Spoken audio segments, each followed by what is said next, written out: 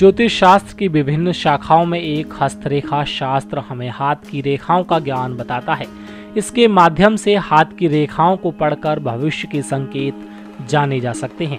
हथेली में कई प्रकार की रेखाएँ होती हैं, जिनमें भाग्य रेखा, हृदय रेखा, जीवन रेखा विवाह की रेखा आदि प्रमुख इनके अलावा हथेली पर कुछ शुभ अशुभ चिन्ह भी होते हैं। आपको बता दें, हस्तरेखा शास्त्र के अनुसार हमारी हथेली पर ऐसे कई निशान होते हैं, जो छोटी छोटी रेखाओं के मिलने या टकराने से बनते हैं। इनमें कुछ निशान हमें अशुभ फल प्रदान करते हैं, किंतु कुछ बेहद अशुभ होते हैं।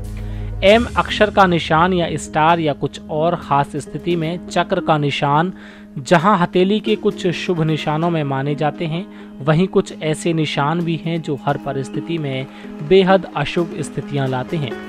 आज हम आपको हथेली के ऐसे अशुभ निशान क्रॉस के बारे में बताने जा रहे हैं। आपको बता दें, एक बार दो रेखाएँ जब एक दूजे के साथ कटती हैं, तब यह निशान बनता है।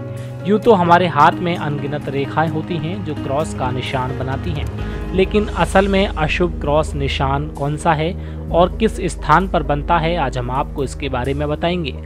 हस्तरेखा शास्त्र के अनुसार हथेली पर बना क्रॉस का निशान मुसीबत, निराशा, खतरा और कभी कभी जीवन में संकट का संकेत देता है।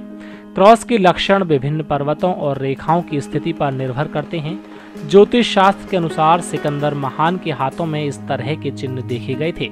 सिकंदर की हथेली के अलावा यह चिन्ह शायद ही किसी की हथेली में पाया गया।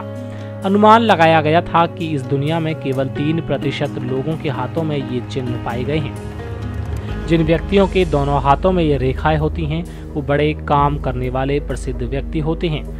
ये उन लोगों में से होते हैं जिन्हें मरने के बाद भी याद किया जाता है। नेक्स्ट नाइन स्पिरिचुअल से आकाश की रिपोर्ट